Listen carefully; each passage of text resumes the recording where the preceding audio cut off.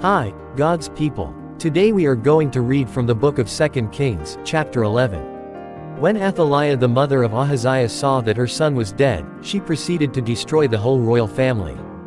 But Jehosheba, the daughter of King Jehoram and sister of Ahaziah, took Joash son of Ahaziah and stole him away from among the royal princes, who were about to be murdered. She put him and his nurse in a bedroom to hide him from Athaliah, so he was not killed.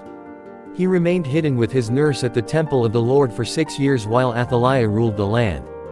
In the seventh year Jehoiada sent for the commanders of units of a hundred, the Carites and the guards and had them brought to him at the temple of the Lord.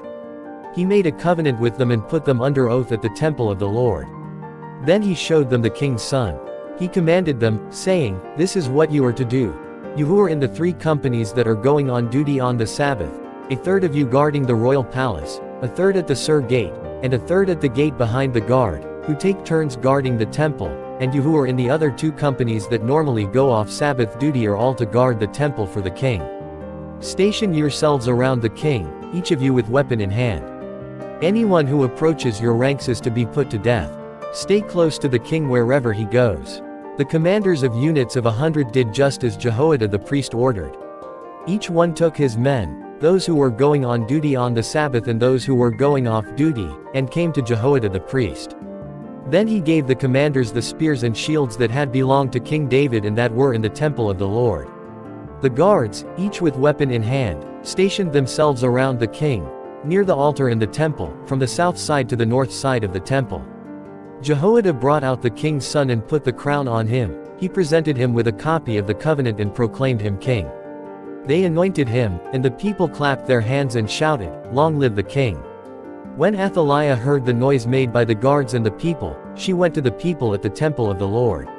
She looked and there was the king, standing by the pillar, as the custom was. The officers and the trumpeters were beside the king, and all the people of the land were rejoicing and blowing trumpets. Then Athaliah tore her robes and called out, Treason! Treason! Jehoiada the priest ordered the commanders of units of a hundred, who were in charge of the troops, bring her out between the ranks and put to the sword anyone who follows her. For the priest had said, she must not be put to death in the temple of the Lord. So they seized her as she reached the place where the horses enter the palace grounds, and there she was put to death. Jehoiada then made a covenant between the Lord and the king and people that they would be the Lord's people. He also made a covenant between the king and the people. All the people of the land went to the temple of Baal and tore it down.